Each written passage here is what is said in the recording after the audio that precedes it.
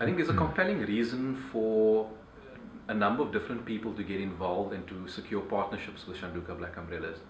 At the enterprise space, uh, with the in individual enterprises, it makes sense because Shanduka offers an approach to enterprise development that, uh, that delivers value.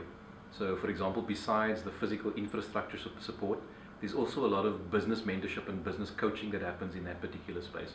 So, from a small business or a medium business point of view, um, I think Shanduka Black Umbrellas make sense, and that's been our experience thus far with our association with them.